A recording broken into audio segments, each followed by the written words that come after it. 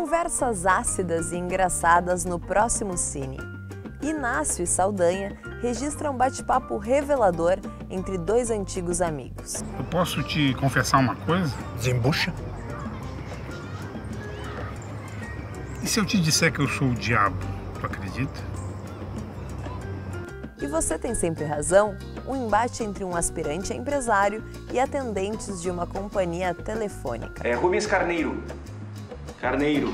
Carneiro. É isso aí. Não sabe o que? Passei meus números pra vocês já. Não, não tem cadastro? Não, eu passei os dados pra vocês ontem. Quer de novo? 0668 5532. Os dois curtas de ficção foram dirigidos pelo cineasta gaúcho Boca Migoto. Se liga na TV Campos às nove da noite desta sexta para conferir.